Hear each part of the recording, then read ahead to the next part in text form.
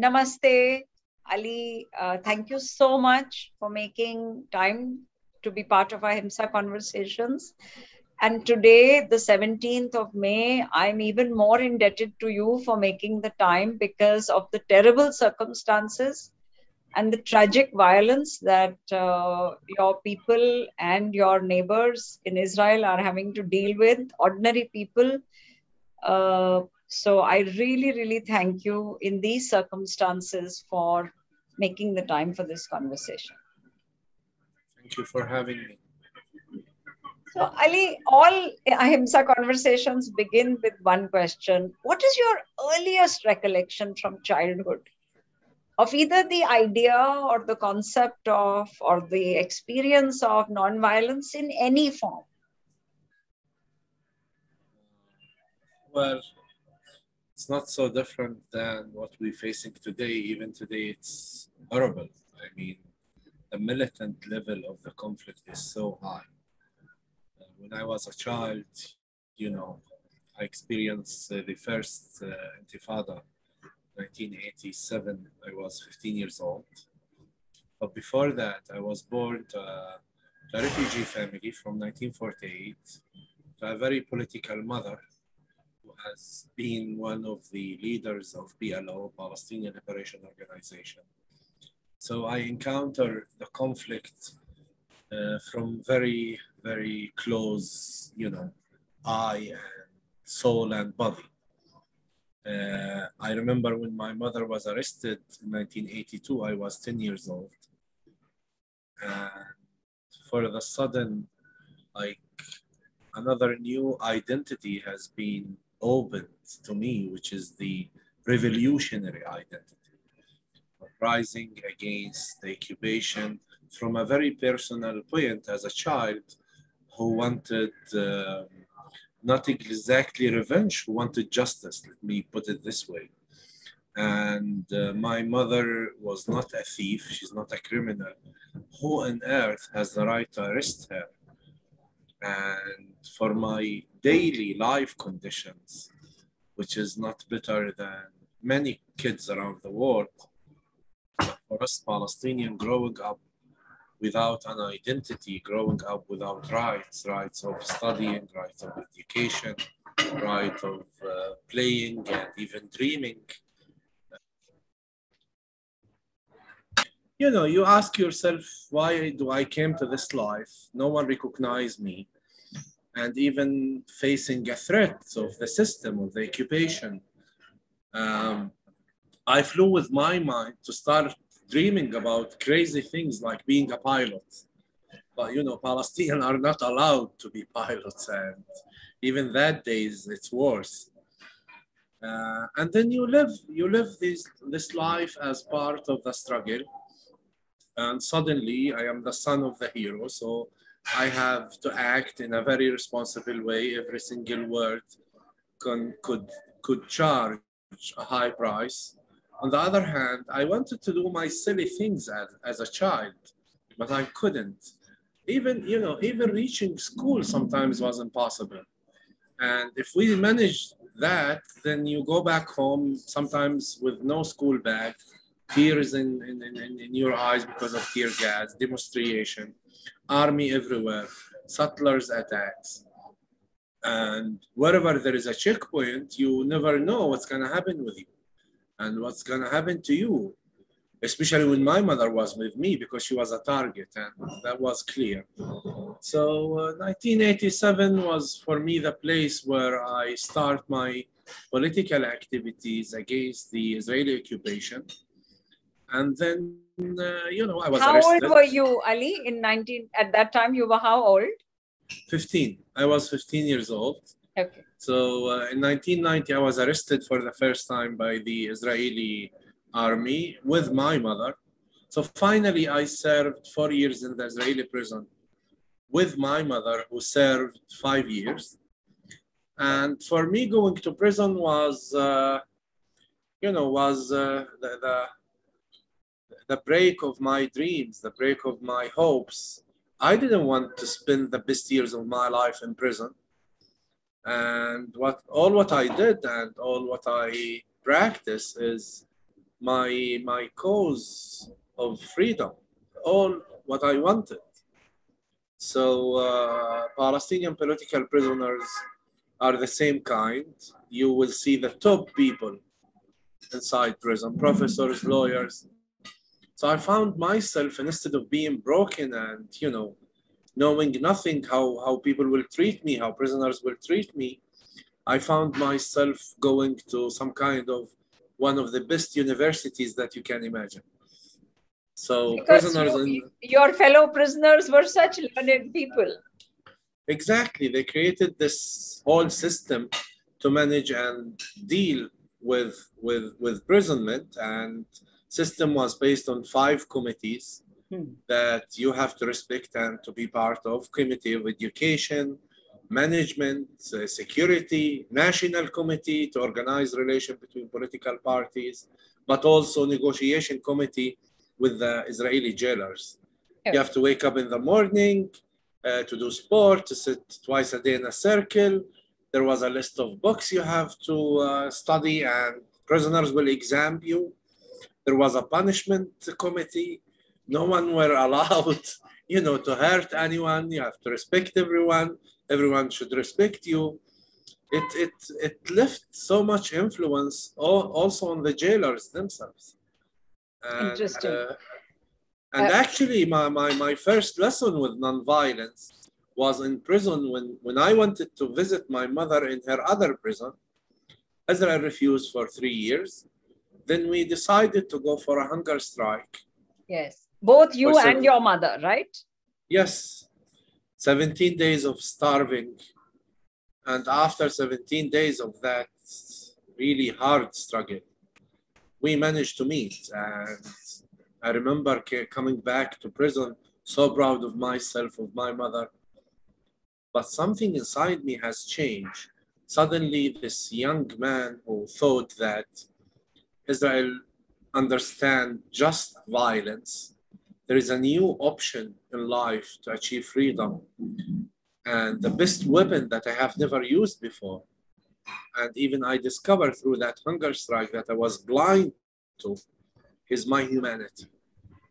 So I start learning about Mahatma Gandhi, about Martin Luther King, about Mandela, who's my biggest inspiration. And you know, and I you were able you were able to find books about all of them in the prison.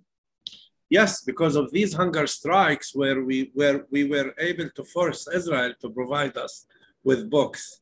I mean, not every book, but we were strong enough to guarantee some good books for our education. Then, you know, Oslo Peace Initiative came. I was released to become part of the Palestinian Authority. So I'm not exactly practicing uh, the fighting identity. I'm practicing now an identity that should build a state with all the constitutions, hoping that in five years from 1994 to achieve independent state, living side by side with the state of Israel. But with my sorrow, this is, didn't happen because of the continuation of the military occupation on the ground, because of the political Palestinian failure, and because of the uh, intervening and international invest, investment in our conflict, not in our solution, because there are some parties who are not willing to see peace in this land. And because of lack of engagement of civil society in, in what is written on papers. Yeah. So, yeah, So- so Ali, this is maybe the good point to raise a question that uh, many people ask me as an advocate of nonviolence. Many people challenge me by saying, how can violence, which is a physical force, be resisted by nonviolence, which is a moral force? So, how do you respond to this? actually it can be resist, resisted because violence is physical. If, if violence was not physical, it cannot be res- resisted. You, you don't attack the people, you attack the system. You attack, you target the system that uh, uh, uh, invest through people physically against other people. So we, you, we, you don't target physically because in war, yes, you can. And for sure, it's approved that some wars uh, put an end to conflict. But just imagine that in this land where both identities and people believe 100% that this land is theirs, just imagine if we go for a physical solution by fighting. It means one of each side has to disappear, which will never happen. Or on the other hand, it will damage everything for any future. I don't want to live in a land that has no people or all of them are traumatized. I That's don't right. land doesn't worth such a Yeah. price. Yeah. Number three, listen, the issue of revenge, even after I lost my brother, he was killed by the Israeli army in 2000. I was wounded also by settlers. I paid high prices to go for physical, legitimate action because people will tell you it's the freedom fight. It's moral, it's legitimate. Someone occupy your land, so you fight back. But things are not easy this way. Things are much complicated than that. On the other hand, what I want to say that the best revenge of the occupation is to celebrate our existence as victims, not to become victims of the system.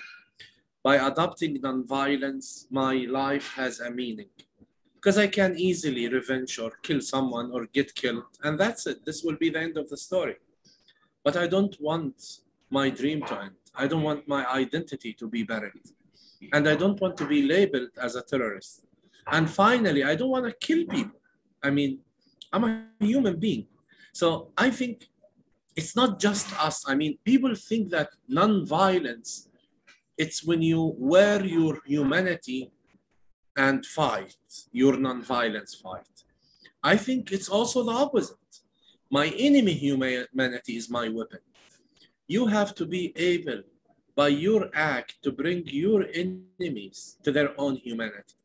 Maybe this is hard, and for sure it's hard, because weak people will use easy thing, the fight, the physical act. But for me, I'm not fighting to win. It's not about winning on someone. Then I'm str- I'm struggling to live because you can win by dying. I don't want to die. I don't want people to lose their lives. I want to respect this land by practicing my relation to it in a fashion that I don't want to be a victim of anyone and I don't want to be a victimizer. This is the high level of nonviolence. And nonviolence is the best bridge to your freedom, to your rights, because just there, during the process, you start practicing the dream and building a state. So it will not take us so much to heal after that because we already in the process. That's my hope. So, uh, Ali, when did you find uh, found the Taghyeer movement? Because it is a movement uh, of grassroots community leaders who are committed to nonviolence. You have a Palestinian nonviolent charter. So, can you say in detail how that came about and when, and uh, how did you bring people together to agree to something like that? honestly speaking, uh, since 2000 until 2016, I was uh, part of different joint initiative with Israelis. I joined the Parent Circle Families Forum, the Bereaved Families Forum. I was the spokesperson of the organization. I launched different initiatives after that. I even founded a crazy initiative with Israeli settlers called Roots, who who for me as a Palestinian settlers are the last people on earth that I should talk with. Then I realized that the problem is not within the peace movement itself. Part of it, yes, because the peace movement itself is stuck. Uh, and I'll, I'll, I'll be honest and say that the peace movement, the joint peace movement, has failed to recruit the majority of the people, especially Palestinians because the needs are different. Israelis will, will seek for a good Palestinian who doesn't want to harm Israel in any matter. Palestinians will seek for a process that will lead them to independence. So here we talk about nonviolent resistance, and there we talk about reconciliation. But we cannot reconcile. Reconciliation is a step in our process, but it doesn't start from reconciliation. So finally, 2016, I just had this dream, even before, to create a Palestinian independent nonviolence movement for two reasons. One is to guarantee nonviolent resistance to the occupation, but on the other hand, to take responsibility about things that occupation has nothing to do with them. Self-responsibility toward our people, toward our society, toward the corruption that we are facing, toward lack of plan for our future. So I started acting or reaching out to community leaders who most of them were with me in prison. And you know, and being, you know, a political prisoner, it gives you a high credit. And my family consider as heroes in the West Bank. So people listen to me, but also they listen when it comes to strategy, to strategize your, your movement and to practice this hope. So I founded Taghyeer for that and to deal with the confusion between two identities the identity of fighting the occupier and the identity of citizenship that we are struggling and confused between as Palestinian, but also to remove this label from non-violence. The labels say the normalization, the anti-normalization movement. Many Palestinians are afraid to be labeled as normalizers with the occupation before any peace solution. So they find in non-violence the way to achieve normalization, but not to normalize the relation with the occupier. So, so it, it speaks about people, speaks about women, like example. Women has many struggles, not just the political one, social one, cultural one, traditions, the manhood culture here. So in this movement, they find themselves as leaders, as partners with men. So it's not just a political act. It's an act that guarantee development even to culture and uh, traditions. So is this what you, the charter speaks of a non-violent identity. It speaks of the values of a non-violent identity. Is this what it means, what you have just said? Or is there yes. more to that? Yeah, definitely, because we identified with non-violence because this is who we are. It's not about what we are about.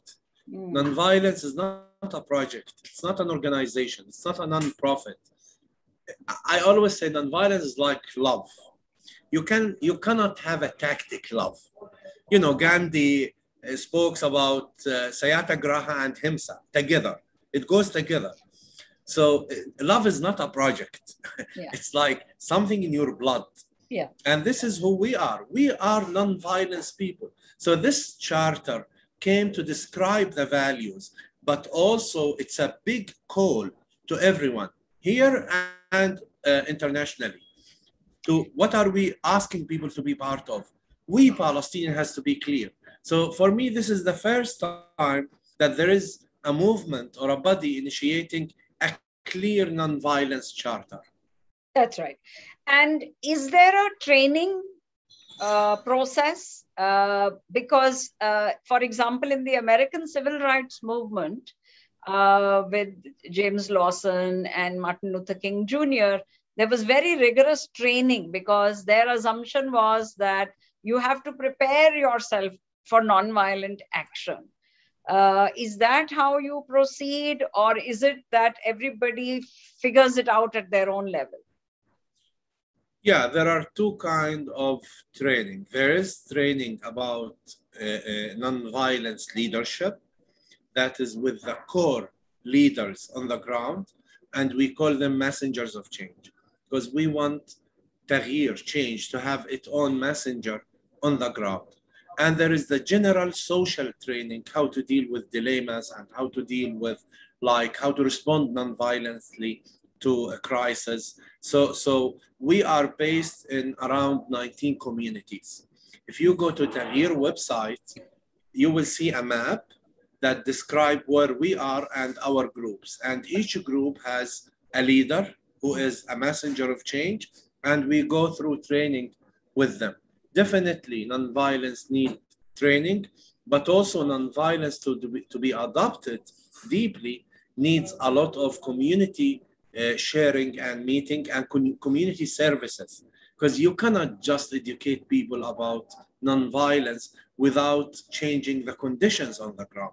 That has to come together. So when our, especially young uh, people get trained nonviolently, we allow them to choose social uh, uh, actions, then we support them so we become followers of them, not just leading them. Yeah. So it's a multi-dimensional kind of activity. But at this moment, when there is uh, such a escalation in the physical violence, even though it may not be in your specific communities, how do you all respond to that? What do you, because I'm sure that at a time like this, there are uh, many people who will say more bombing is the answer. Uh, so how do you all tackle that? And and on the whole, I'm sure there are people around you who don't like what you do, who who believe that uh, nonviolence will not uh, gra- will not get Palestinians their rights and, and and justice. So how do you cope with that? How do you how do you respond to that? Actually in every attack, especially in Gaza, people said this is the only way. And every time we go to that and we have nothing come out, just broken hearts, more damage and more death. It's always a circle of violence because it creates endless revenge when it comes to people's life. That's number one.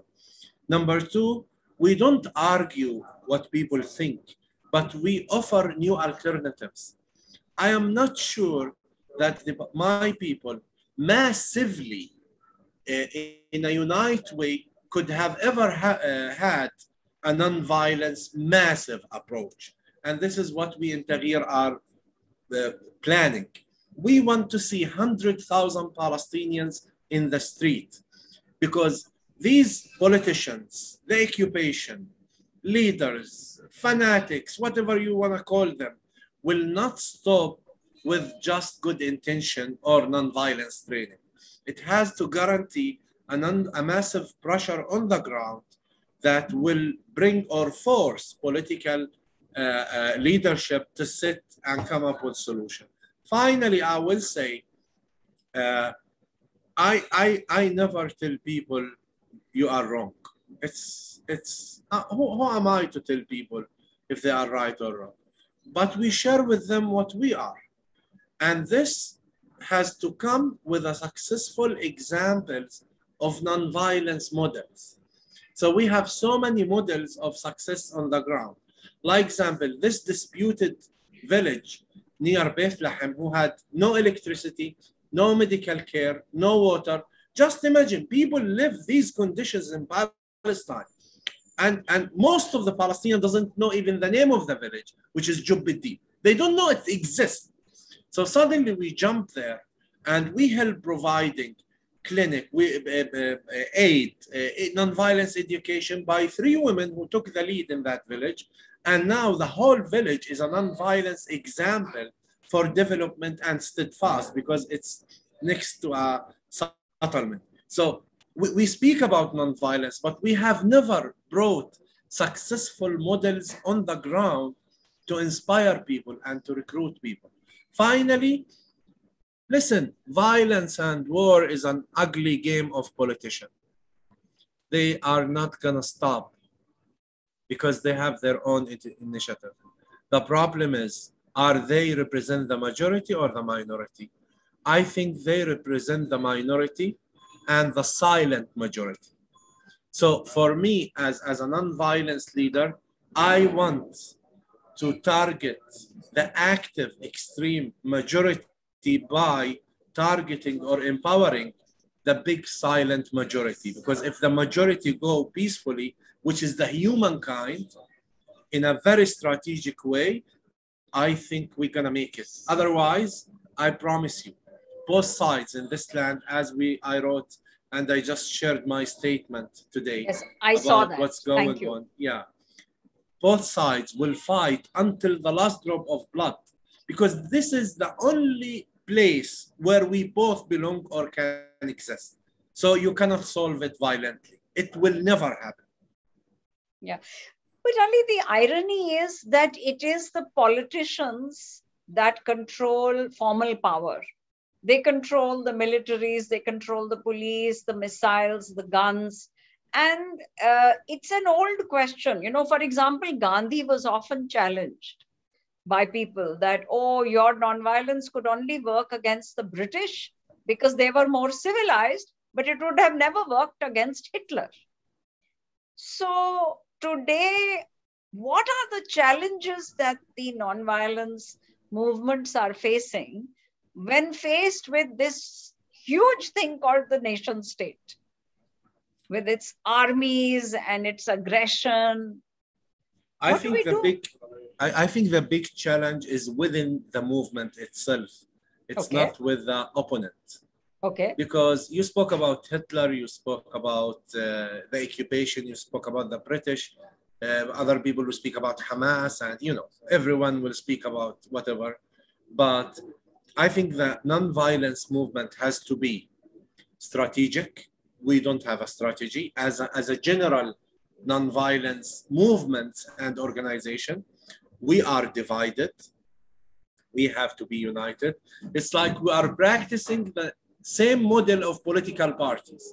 And we forget that nonviolence is not about one side. It's about all people coming as a force. Number three, we have all of kind of nonviolence. You will see nonviolence organization who believe in uh, healing or dealing with trauma, and that's it. You will believe in uh, uh, non-violence activism against the occupation by throwing stones. And people are deeply believe that this is non-violence, which is not. On the other hand, a stone against 60 ton Merkava tank cannot be compared. But they forget that the, the roots of the philosophy of non-violence. Number three, I think uh, we don't have also uh, within the process or within the practice any political achievement because this is important to keep the movement alive. You need small stations of success, like what, what Gandhi and others has achieved. Number four, I believe that we Palestinian has to speak to Israelis in a different way. Because until now, even though we are not equal, even though Israelis are occupying us, we need a specific language to target Jewish fear-like example. This fear has caused us a price of our dignity, a price of our humanity, a price of our life. We have to target the fear, not the people. So there are strategies that has to happen in this land for non-violence movement to succeed. And by the end, I will tell you something that will sound, I don't know how it will sound. There is enough humanity within the Jewish people for Palestinian non-violence to succeed. So we are not dealing with Nazis here, okay? So, so you will see a great example of humanity. I'm not now, I'm not becoming the lawyer of Israelis, but I believe, and this is my experience, I promise you, I succeed to evacuate checkpoints just by conversations. So, so, so we need this. We need to rethink now and redesign our our engagement with nonviolence. That is so true, Ali. Last week I had a similar recording of an Ahimsa conversation with Robbie, whom you know very well, and I was thinking, actually, you know, just that it's 26 years since the Parent Circle Family Forum came to into being. For it to simply persist and keep doing what it does. Isn't that a huge success? Is. I mean, I, I was I was sure that while I was with the organization, you could save people life and you never know if you did or not, but I was sure that we were saving people life. And for me, if these kind of people like Robbie, like myself, like my mother, who joined the parent circle uh, in the beginning. If they are able, with all the high price that they paid, to stand together to change this madness, to end the occupation, and to secure everyone so everyone can. So this is a miracle. Yeah. You know, Robi said something very profound. I mean, she said many profound things, but the one that struck me because it has uh, implications for people across the world. She said sometimes people are afraid to let go of their sense of victimhood. What is that? What is your insight on that? Why do we tend, many people tend to cling to the sense of victimhood? How to overcome that? I think it depends also on their environment because letting go need need healing reconciliation need conditions around the, the, ground but if you are a victim like jewish people victims of the nazis and then they find themselves also in a conflict so victimhood has become an identity whether to defend themselves or to accomplish uh, excuse for their acts against palestinian and not to be blamed because how can you blame a victim? So the victim identity jump in the first place, and also to to to uh, to forbid others to interfere. When like the international community want to take a serious stand, they will not dare to take it because of the Holocaust.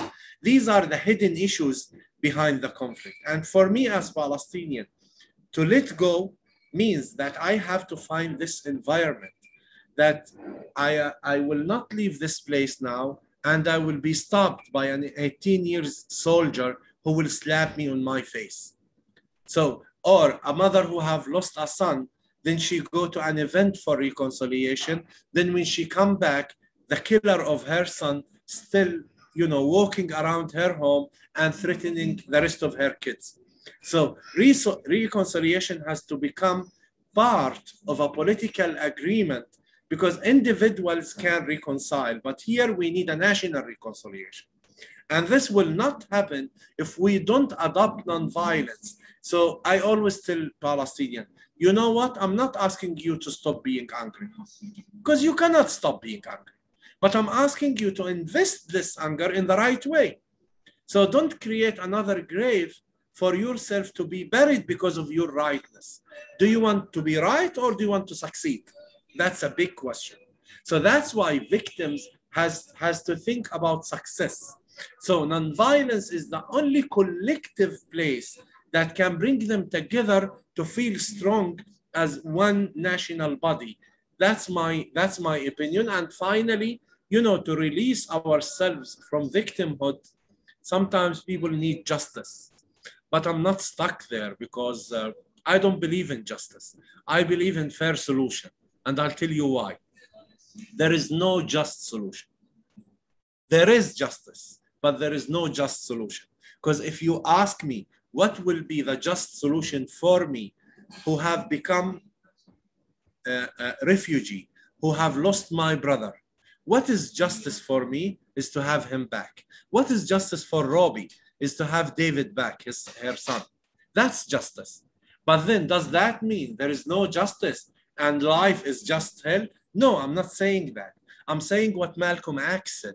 He said, justice is just us. So I'm not expecting anyone to give me justice. I have to be just to myself by not being the victim that the victimizers wanted me to be. That's what I meant. That's amazing. I see now that, and this is very powerful, and I think we can apply it in many situations here in India also that the nonviolent identity in the way that you are defining it is a counter narrative to the victim identity. Yes. It's, it, it's, it's that, uh, that Iceland in the ocean that you cannot stay there and you cannot also stay in the ocean. You have to be between two. Yeah, yeah. So, Ali, uh, back a little bit to the nation state question that uh, somebody needs to also confront the business of armaments, right?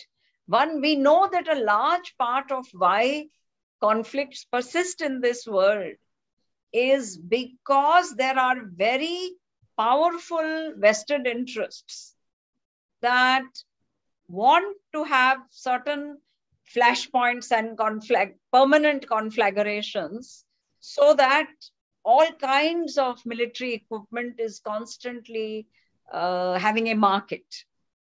So, how uh, do you? Are there any groups that are also confronting that dimension?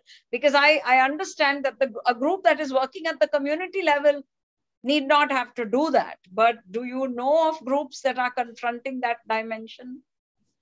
I think in non-violence, massive or grassroots movement, you need also other groups on the political level or even other politicians. This is what we do in Taghyeer, in the security level. Even now, recently in the Israeli side, we are trying to reach through the uh, charter that you just uh, uh, we just spoke about. Uh, I think yes, non-violence approach has also to guarantee some kind of political action toward militarism, because the idea of, of, of militant action, it's military is an idea, okay? So to, to deal with that, you have to understand that idea. What can feed this militarism issue and how can you really take that food out of it so it's not workable anymore? So you need voices within the system the system of your oppressor and your own system. Voices that will also, you need lawyers, like example, you need the international law, you need media, journalists, you need, it's a whole lot of work that has to be done to go to each level, as you mentioned, and to, if I understood your question, and to deal with that.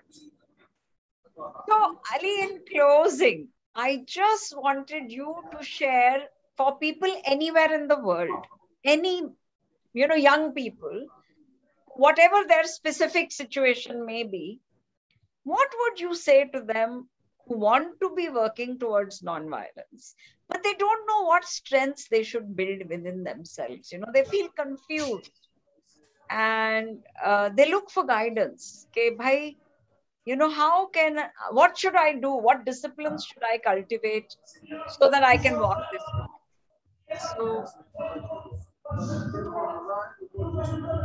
Yeah, this is a demonstration in the streets. maybe we'll just. Okay, they are done. Okay, go ahead. Yeah, We're in the middle of the fire, you know. So, Okay. anyways, you know, I, I, I wanna, I wanna tell, uh, especially young people, that don't be stuck in the past because you are not responsible about it. You are responsible about the future. So focus on the future. Don't be stuck as victims or others who try to get you to this darkness. Number two, the, the big fight is the fight against yourself because you can fight others easily.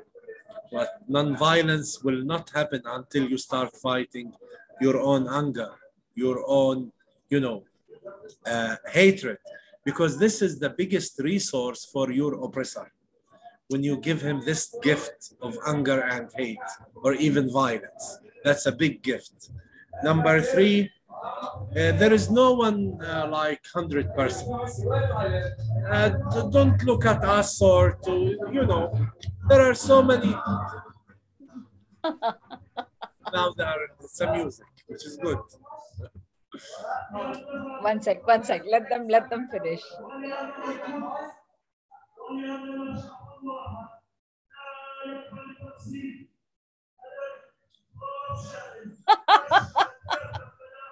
Is somebody singing a song? Palestinians are crazy, you know. Uh, Yeah, some you- music and some statements. And, Okay, okay, okay.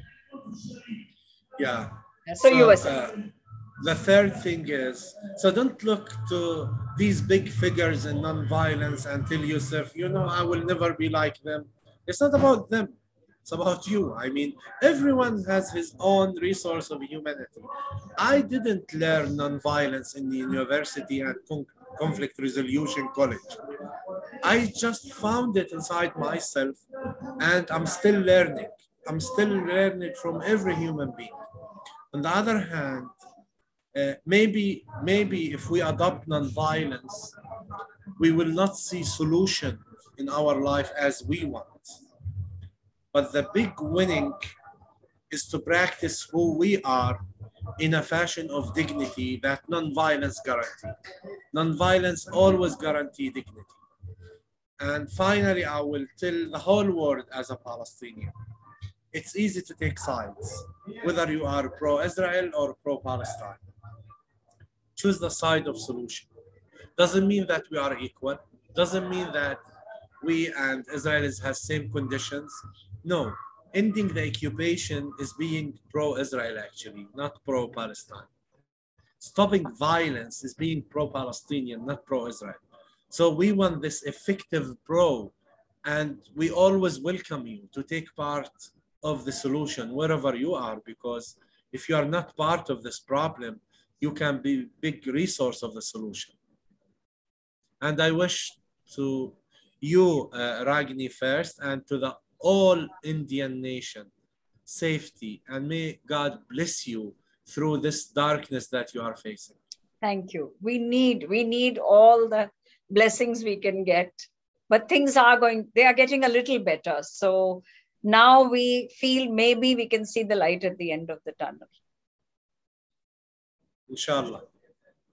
Thank you so much, Ali. God bless. Thank you, Ragini.